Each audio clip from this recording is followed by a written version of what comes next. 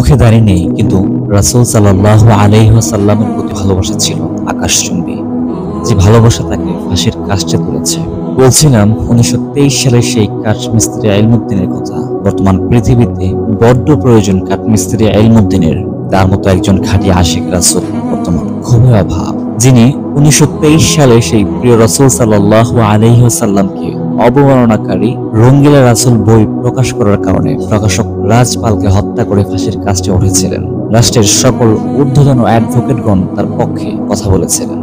তারা বলল, এলমুদ্দিন, যখন তুমি আদালতে উঠবে, তখন তুমি বলবে, সে সময় তোমার মাথা ঠিক ছিল না, যার কারণে তুমি এই খুনটি করেছ। কিন্তু যখন এলমুদ্দিন কাঠ গড়ায় দাঁড়ালেন, তখন সেই কথার বিপরীতে তিনি বললেন, আমি স্বেচ্ছায় সজ্ঞানে আমি সেই ব্যক্তিকে হত্যা করেছি, যে রাসুল সাল্লাহ সাল্লামকে রঙ্গিলা রাসুল বলে আখ্যায়িত করেছে।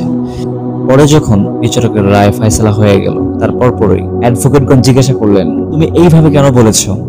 তিনি বললেন, আমাকে স্বপ্নে যোগে রাসুল সাল্লাহ আলাই সাল্লাম বলেছেন, এলমুদ্দিন, তুমি তাড়াতাড়ি আমার কাছে আসো, আমি তোমার অপেক্ষা অপেক্ষিত। আর জানাজার ইমামতি করেছিলেন বিশ্ববিখ্যাত বুজুর্গ আল্লামা জাফর আলী খান। খাটিয়া বহন ও লাশ দাফন করেছিলেন বিশ্ববিখ্যাত কবি আল্লামা ডক্টর ইকবাল।